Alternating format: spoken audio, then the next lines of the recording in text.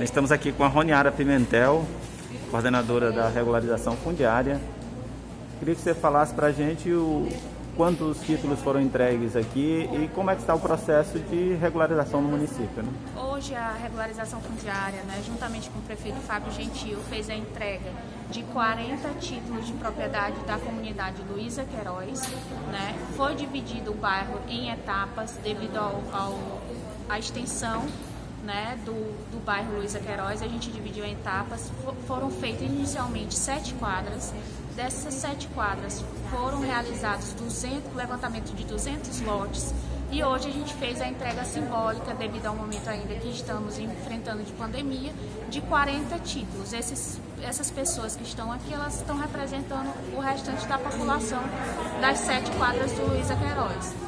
Quero informar para a população do bairro que a gente vai continuar a partir do próximo mês. Vamos voltar a fazer o levantamento, já que agora estamos recebendo finalmente nossas vacinas, né? Um momento de felicidade. E vamos continuar o serviço de campo, que é fundamental para a execução da regularização fundiária. Que parceiros estão envolvidos para a execução desse trabalho? Trabalhamos diretamente com Cartório Primeiro Ofício, que é um parceiro forte nosso, sempre nos dando todo todo o apoio necessário, sempre que solicitado, eles respondem de forma rápida, né? De forma eficaz, nos trazendo todos os benefícios. Esses títulos que estão sendo entregues hoje são, foram totalmente gratuitos, né? Então o cartório ele nos ajuda bastante, ele tem um papel fundamental. Temos o prefeito Fábio Gentil que não deixa nos, nos faltar nada, sempre está participando, querendo saber como é que está o fluxo do, do, processo, quando que vão ser entregues. O próximo bairro já está pronto, vai ser entregue, é a Vila São José.